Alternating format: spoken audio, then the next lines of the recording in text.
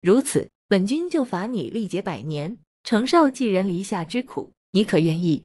小仙谢帝君之罚，能说不吗？算了，他可不想加重惩罚。见柯和态度还行，东华心满意足的处理完了，他后便离开了。离开的东华并没有回太成宫，而是去了那个极寒之地。路过的时候，那些叫苦连天的声音，东华全然没听见似的。他并不是一个好的神仙，潇洒惯了，固然不会怜悯苍生，只会心疼自己所在乎的人。如今，东华便是要去看望一位他遗忘多年的老朋友，也是害得他苦等了三十六万年的仇人。极寒之地中，当年不可一世的兰陵，现今被冰链拴着，根本就无法离开此处。看他脸色苍白，毫无血色，原是花容月貌的容颜，早已被这极寒之地折磨得不成模样。透露着无比的绝望。三十六万年未见，可还习惯本君为你所造的极寒之地？东华现身，站在远处，对着他毫不怜惜的言语。帝君，兰陵抬起头看着他，原来已经过了三十六万年，那么久了了吗？他竟然被折磨了三十六万年了。听着东华的声音，兰陵似乎听到了希望，期盼的说：“帝君，你杀了我，杀了我吧！这种求生不得，求死不能的日子。”兰陵真的不想再承受了，他不过是要了凤尾一命，却连累整个兰罗一族为他的过错被东华惩罚，一直活在水深火热之中，是他的错，他着实不该。可这夜夜被万重噬心灼骨又再生新骨新肉的日子，他是不想再承受下去了。当兰陵认真一看不远处站着的东华，更之为惊讶，他身上的魔气比当年的更为浓烈了，是有过之而无不及。这些年究竟发生了什么？居然让东华魔化至此，杀了你怎么能够？东华冷冷一笑，你对凤尾下狠手的那一刻，怎么就不想想凤尾是怎么样的心情？是不是也和你一样，求生不得？本君索性就让你求死不得，毫不偿你对凤尾的债。是啊，为了一株凤尾花，兰陵下了狠手。当时他心里觉得一株凤尾花死了就死了，东华也不会过多的计较。谁知道东华会因此疯癫成魔？对兰罗一族狠下重罚，对他更是毫不怜惜，狠心折磨。呵呵，无论我怎么做，你都很急了我也好，至少在你心里，我还有一席之地。只是你的凤尾死了就死了，活也活不过来。我得不到的，你也得不到，我们都是一样的，都是一样的。哈哈哈！兰陵大笑，造就这样结果的是他，求饶也恕不了的罪，那他还不如狠狠戳一戳他的心，让他也和自己一样。生活在痛苦的深渊之中，本君今日来就是告诉你一件喜事的。凤尾回来了，本君在等他机礼，然后迎娶她做我唯一的帝后。想着也该同你这个老朋友说一声，不然也让你太好过了。不，不可能！兰陵不愿意相信你在说谎。他死了，不可能活过来的。你又怎知他不可能活过来？本君要他活，就不能死；要你受尽折磨，就无人能阻。东华看着兰陵被自己逼得如此苦不堪言，倒有些快感。他从来就不是一个神，又怎能让他慈悲为怀？本就是眦牙必报的东华，别指望他能够轻易原谅这些对他久而做过伤害的人啊！被东华的打击下，兰陵根本就承受不住，大喊大叫，很想挣脱枷锁的束缚，却根本就是以卵击石。看够的东华转身离开，过去的伤害一点一滴。他都会为他讨回来。从今往后，再无人能欺他的女人一分一毫。反正魔化就魔化了，他的凤九也不能离开他。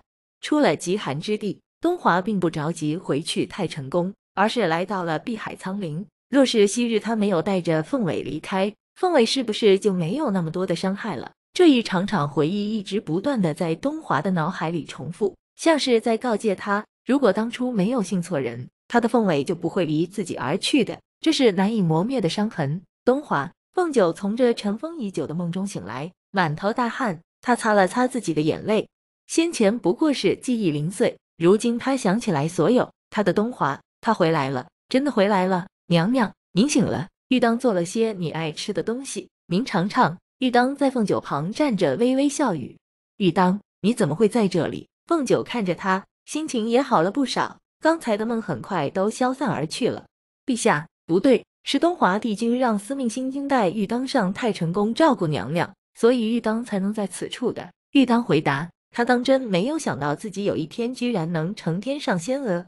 这样也好，本就有打算带你回青丘的，可后来因为一些琐事忘了，你可怪我。凤九微微一笑，之前他也有想过带着他走，却因为情伤忘了他，总觉得有些对不起玉当。玉当不敢，能跟在娘娘身边，是玉当几辈子修来的福分。玉当跪了下来，虔诚地说：“好了好了，你快起来。”凤九将他拉了起来，握着他的手说：“在这里不用那么多礼了，反正有我做你的靠山，你可以在这太成宫横着走了。当然，对帝君还是必须一定要行礼的，毕竟他……哎。”你到时候多问问司命就行了，他知道帝君喜欢什么，讨厌什么，只要你不惹到帝君不快就可以了。说到这里，凤九望了望四周，询问：“对了，帝君呢？帝君去哪里了？”玉当以来这太成宫就是在照顾娘娘，也未曾见过东华帝君。玉当实话实说：“奇怪，那他会？”凤九突然感觉自己的心很痛。帝君，他不顾一切的跑了出去，正好回太成宫的司命看见。拦住了要离开的凤九，说：“小殿下，帝君有令让司命看着你，你可别到处乱跑。你让开，我要去找东华。”凤九感觉有些不对劲，东华现在很痛苦，他只想马上到他的身边，寸步不离的守着他。见司命还是一根筋的拦住自己，凤九一副不是本意的模样，说：“司命，抱歉了。”什么意思？司命还在回味凤九说的话，下一秒就被他狠狠的踩了一脚。哎呦，我的脚啊！痛苦万分的司命抬起自己被踩的脚，表情十分精彩。这小殿下也太狠了吧！见司命现在顾着疼痛，凤九变回原身，绕开了他，跑了出去。小殿下，司命这可吓坏了，顾不得脚痛，连忙跟了过去。到了碧海苍林的凤九看着东华坐在那儿，周身都冒着红莲业火的光，担忧道：“帝君。”睁开眼睛的东华看着凤九，双手握拳，强忍着魔性。咬牙切齿地说：“你别过来，他怕伤着他。”不，凤九想跑过去，被赶来的司命拦住。小殿下，帝君这是入魔了，你过去恐怕会被红莲业火伤到。我不怕。凤九甩开了司命，义无反顾地跑了进去，一把搂住东华的身体。帝君，我是凤尾，我就是你的凤尾，我回来了。为什么小殿下不会被红莲业火所伤？司命有些疑惑，但想来他原神有帝君的气息。恐怕接近帝君也是轻而易举的一件事情。司命在这么一想，也就释然了。凤尾，东华抱住他，难过的问：“你怪我吗？我不该让你自己在太成宫的。兰陵伤的你很痛吧？肯定很痛的，从来都不舍得让你经历风吹雨打，更何况是被他这么狠心伤害。当时的你肯定很难受，怪我没有及时出现，你会恨我，对吧？”嗯，凤九蹭着他怀里，摇了摇头说：“爱你都来不及。”又怎么会怪你恨你呢？凤尾，东华搂紧了他，渐渐散去了红光，恢复了些理智，整个人心里却还是有些害怕，害怕失去他，所以东华搂着他更紧了些。别离开我，别再离开我了，我一直在等你，没有你在，何处为家？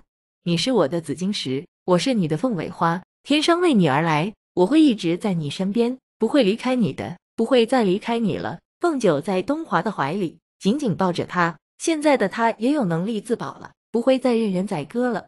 我让兰罗一族的人生活在水深火热中，让兰陵日日饱受噬心灼骨之痛，变得这样的我，你会不会很讨厌？他突然怕这件事若是让他知道，会不会很讨厌他？可他也做不到隐瞒他。无论你变成怎样，我都不会离开你的。他们与我们何干？只要我们在一起就可以了。就算你是神是魔，是好是坏，你都是我的东华，我爱的东华。凤九不管什么神魔，只要是他的东华就足够了。松开手的东华抬起凤九脸庞，为他擦干眼泪，深情言语：任何人都不会再有伤到你的机会，也不会再有任何人能从我身边把你带走。凤九也伸出了手，握住他在自己脸庞的手，微笑道：带不走也赶不走的，九儿会缠着帝君，生生世世。我们回家，那便缠着吧。东华将他拥在怀里，哽咽着说。九儿，以后我再也不会弄丢你了。嗯，凤九依偎在他的胸膛前，点了点脑袋，然后又抬起了头，说：“帝君，我们回家好不好？”“好，我们回家。”东华牵起凤九的手，离开这里，回去太成宫。